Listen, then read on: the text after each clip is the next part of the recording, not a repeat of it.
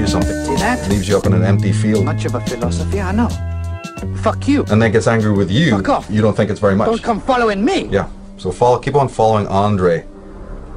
That's what every guru, every priest, every politician is telling you. So tomorrow, every scientist, you're going to have it tomorrow. You're going to have it tomorrow. You can't have it today.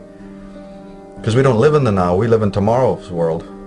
Tomorrow doesn't even, even their own science proves it doesn't, tomorrow doesn't exist, but they're going to tell you it all exists in tomorrow. So the fundamental line is discover that there's a hidden hand, mind controlling the world, operating to keep you down,